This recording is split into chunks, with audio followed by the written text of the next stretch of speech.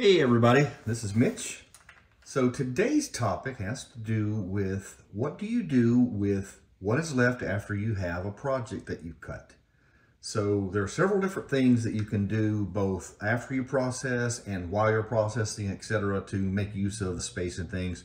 We're going to cover the physical part and then go back to the computer and do some of the work in the software here in just a minute. But let's kind of go through things as, as we say. And so what you have in front of you is about a year's worth of cutoffs. It's actually not because I've already done a bunch of this work myself.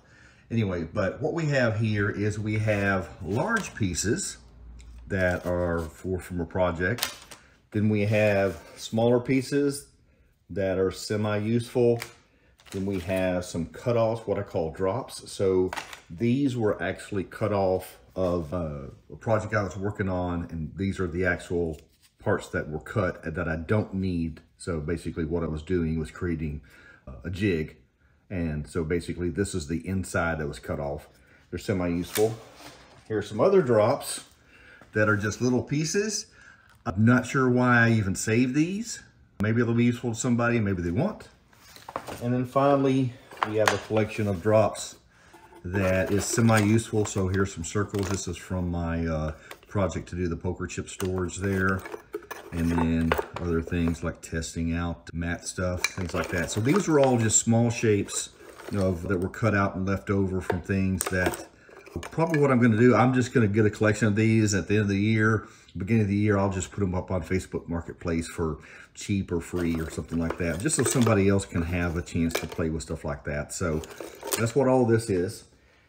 So the idea here is how do we get to where we don't store the junk but we can make use of smaller pieces left over because like here's a piece right here. This is a perfect example. So I had to cut, I think this came off of the poker chip or the casino chip project where I needed a large piece cut out. I ended up with this L. So not very useful. So what I really need to do is I need to cut it right here to make two pieces. And that way I can put one on top of each other and they store faster and better like that. So the way that I have done this, and again, this is all the post-processing stuff, and I've changed the way I've, I've, done it. We'll cover a little bit later. The easiest way to take care of this is just with a pair of diagonal cutters. So this is three millimeter plywood. If you have something thicker, it may be different, but you can just literally cut these like this and then just keep cutting. And what I'm after here is there are actually two different things of this. Now with this one, they're all the same. So again, what I'm doing is I hate to waste any product, any kind of wood. So these are small strips, okay? Maybe people that do models or trains or things can use this. So what I do with these is I put them in a box with a bunch of the other stuff that I've cut off like this. And again, at the end of the year, beginning of the year, whatever, I will bundle all this stuff and give it away to somebody. This is this can be cut with the diagonal cutters. It's a bit much. I'm just going to use a bandsaw. If you don't have a, a bandsaw, a regular saw works as well. What do you do with something like that? Well, in all honesty, all of this really deter is determined by your time, okay? What I'm doing here is a complete waste of time, but I, it makes me feel better. Just That's just the way it is right there, okay? If you are running a business, this is a piece of trash right here. This is what I call kindling which is what we get when we do all this other stuff and we end up with a box of this. This is the cutoffs from in between all these little things. And that is my killing pile for the winter for when we hopefully have some cool temperatures here in North Texas and I have something to put in the fire pit to start it up. But a lot of this, you can create circles or other geometric shapes to, to be used for a part of your craft. That's still a lot of good usable wood. But quite honestly, it's it may not be worth your time. So consider any of that when you look at that. So, you know, right now I'm saving it, but I could just as easily just throw it in the trash or throw it in the in the scrap bin and, and be done with that. This one's a bit bigger and much more surface area. And so this would be a perfect example of why I would keep something like this. And again, this one, we just cut the stuff. This is all kindling right here because I can't think of a use why somebody would need something like that. And then what we would do is we would take this over to the bandsaw, cut it right there, cut it right there. And then maybe if I want to trim that edge up as well and make that go. Okay.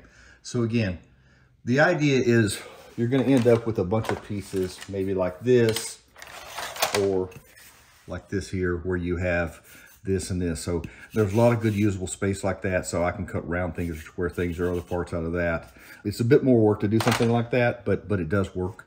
So again, the idea is to remove all the stuff that you don't need and just keep what you do need. And if you can find a secondary purpose for some of this stuff, like one of the drops that was in here was this cross that I had done for, for another project for one of my wife's nieces.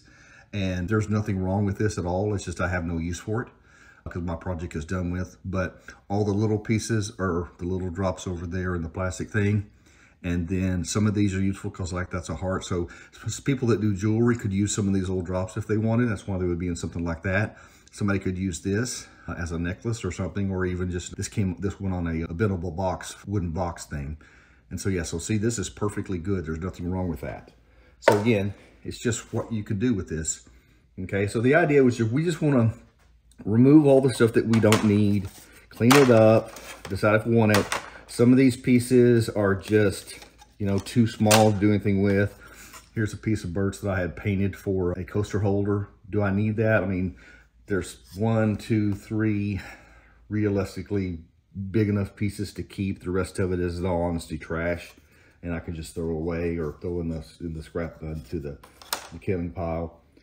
These are the same. This is that rosewood from the Xtool Select. It's just a MDF with a more or less a couple outside sheets of some kind of plastic that makes it look like wood. That's useful if I want to make some some kind of decoration or something on another project. This came out of a um, of a sign for uh, for teachers appreciation. So anyway, so this is how you handle stuff after you've done with it. So again, the idea here is I had all of this stuff completely taking up two of the drawers in my, my LaserTown cabinet, and most of it is absolutely dead space. So what I'm gonna do this weekend is I'll go through this, cut things off, run through the bandsaw, and then what I'll end up with is just a bunch of smaller pieces that I, I can use for stuff, and that will take up much, much less storage. Okay, so let's uh, let's pause here. We'll jump over to the computer into Xtool and I'll show you a tip that I got from a lady on the one of the Xtool Facebook groups that is actually what I started using and how you can use it too. So I'll meet you there. So we talked about what to do with the things after we've cut them to clean them up and just make them where they stick up less space as things. So let's talk about how to prevent that from happening so we can actually do it while we're doing a production run. So here is a box that I'm creating here. It's got three dividers and just made out of three millimeter Baltic birch, which is what I have loaded in the in the uh, laser there. And this is the uh, Xtool M1, by the way. And so what I'm going to do is here are all the parts that I need for my um, for my box. And so typical thing here, I'm just going to take some of these and try to maximize the space that I'm using. That way I don't, uh, I use as, as little as possible. So that may be as good as I can get on this one. Actually, let me move that one down a little bit because it's a little bit too close for my, my taste. It's not that I don't trust the way things look, but I don't. Okay, so we've got a couple things we can do here, but what I'm really going to do is I'm going to draw a couple lines to uh, give me some cuts, extra cuts that are not related to the box. So I'm just going to start here and I'm going to make that go all the way across over there. Make sure that is indeed a cut. Then I'm going to zoom in here a bit and I'm going to create another line that goes from this one down here and pan over a hair and I'm sorry make that one cut as well. And then do a, a final line and I'm going to go from here all the way over to the left hand side there and make that a cut as well. So when I go out when I zoom out what I'm seeing here is I've got a um, just a a line that's circling this, basically encasing everything. So what I'm going to end up with is um, it's going to cut all the parts out like it normally would, and then it's going to cut this border around it. So from here to there to there.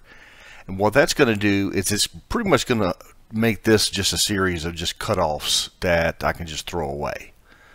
And then what it'll leave, it's not exactly a rectangle, but it's close enough. And so this big piece here will be left over and it'll be ready to use um, out of the box. So I've got this idea from a lady who who posted up on um, one of the Facebook groups for Xtool, and I'm like, why am I not doing this? It's so simple, and you don't think of the simple things sometimes, and you end up with like what I did with this a foot tall stack of cutoffs that look just like this, where there's lots of parts, and you couldn't use half the area, and it's just ugly and things like that. And we'll get into cleaning that up here in a minute. Okay, so I got everything cut up, so let's go through what we have here. We got a bunch of little pieces for people to uh, do art and crafts with, whatever. Some smaller pieces that I, am gonna save for myself for a while. The probability of these ending up in the giveaway pile is high. And then I have some drops there, those didn't change. And then I have a bunch of just different size cutoffs here, as you can see. And then this is all trash. So that's gonna be kindling for the fire. I'll probably just chunk these because there's just not enough, it's not there to, to justify the time to cut it apart, uh, to be quite honest, or there's other things wrong with it. Not that there's anything wrong. Like if you needed some, that's perfectly good. I mean, that's a, if you need to make some stars or circles or something like that, that is absolutely perfect. Okay. So anyway, so this is it. So this is what I ended up with. So I'll load this back in my cabinet and see how much space I have left over after that. Okay, let's take a walk over to Lasertown. And as you can see here, we have two drawers full of cutoffs or junk, depending on how you look at them. Those back in place. Also got drawers with my normal plywood in them. And some other plywood and things like that. And then the storage on the left-hand side has kind of my bigger stuff or my other things, a lot of cardboard in there because I use a lot of cardboard for prototypes. So anyway, so that's one of the ways that you can help maximize your stuff if you got the time, if you want to spend the time. Otherwise, you know, just chunk it in the bin and use it for firewood. Thanks for watching.